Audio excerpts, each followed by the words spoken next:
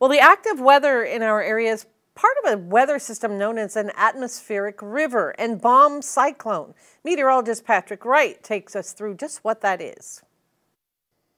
Well, we have another atmospheric river helping us kick off the new year, but this one has a little bit of a punch. This is the storm that is bringing us some of this rain. It is spitting out in the Pacific right now. It is known as a bomb cyclone where it's strengthening by dropping its pressure, its air pressure by 24 millibars within 24 hours. So that's already impressive in and of itself. But what it's also doing is tapping into an atmospheric river. In this case, a Pineapple Express originating out over the Hawaiian Islands. So see the stream of moisture flowing all the way up to the California coastline. So when it comes to an atmospheric river, its strength is determined by the amount of water vapor that is transported in the atmosphere and at times this can carry as much or more water as the Amazon River. So that is why we're seeing a lot of rain with these systems and in some cases a lot of wind as that system is strengthening off the coast. These are usually measured